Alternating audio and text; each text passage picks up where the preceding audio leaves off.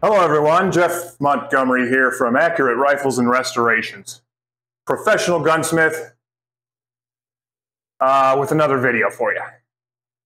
So, um, a recent comment has been brought to my attention on one of the last video series I made. And you know, I'm not I'm not new to YouTube. Uh, I've been watching YouTube since its inception, way way back, 12, whatever, however long it's been on. I mean, I've been a fan of YouTube. I really love it. It's an incredibly great resource.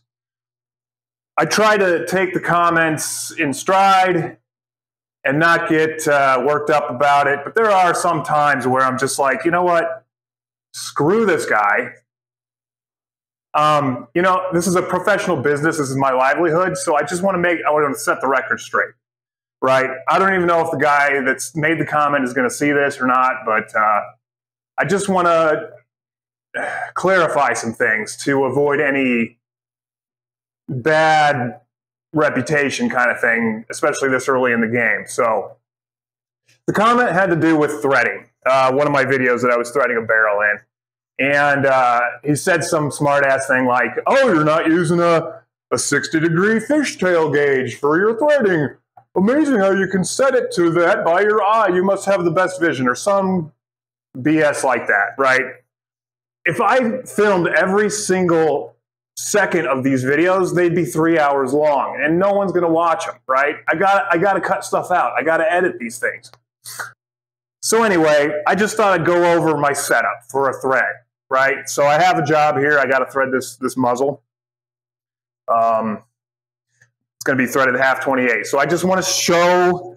I'm going to show what I don't show, right? So so here we go. We're gonna we're gonna set this up for threading the, the correct way.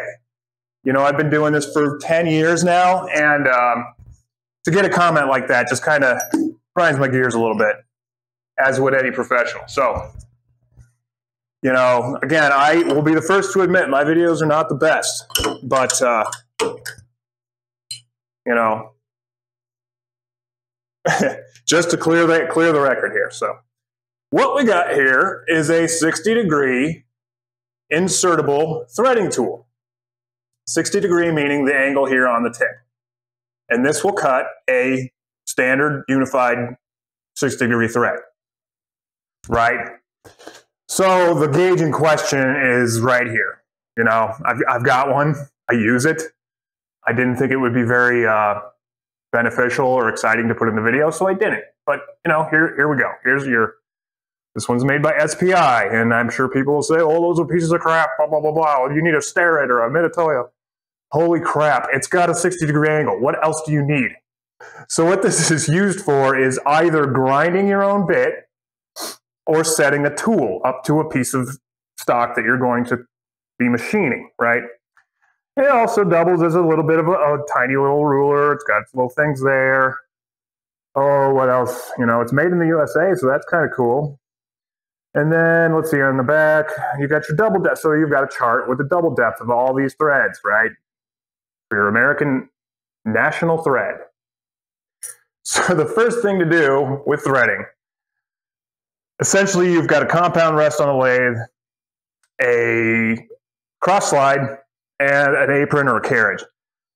We need to set this up properly for the job at hand, right? All right, so my compound rest has two opposing rather large cap socket head screws that allow one to rotate the compound rest to any angle you desire. For this particular job, we need 29 and a half degrees off of here. So we'll call it 30. And there are graduation marks on the compound rest. A big mistake a lot of newbies make is set it to 29 and a half here. That is incorrect. It's off the wrong plane. We want it off of this. Here, because we're doing the work here, not straight ahead. Okay, so we'll just clear the air there. So we need to come in here and set this at 29 and a half degrees. And you know, if you watch Joe Pye's video on threading, he's got an extremely good video about this. You don't have to be dead nuts on 29 and a half. As long as you're a little bit past 30 in this direction, You'll be fine.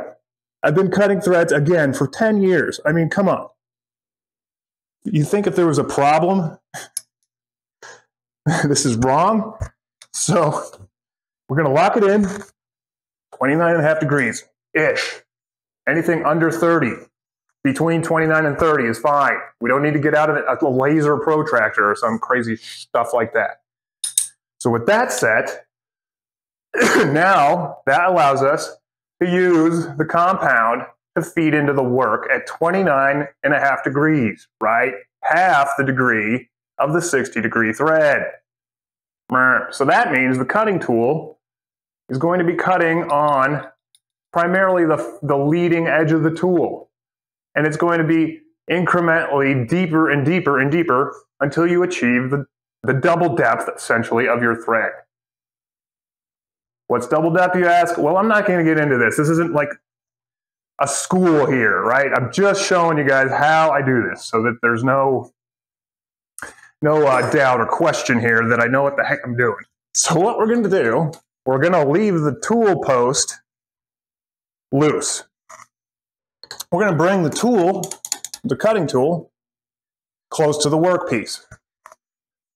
How you use this, to back off.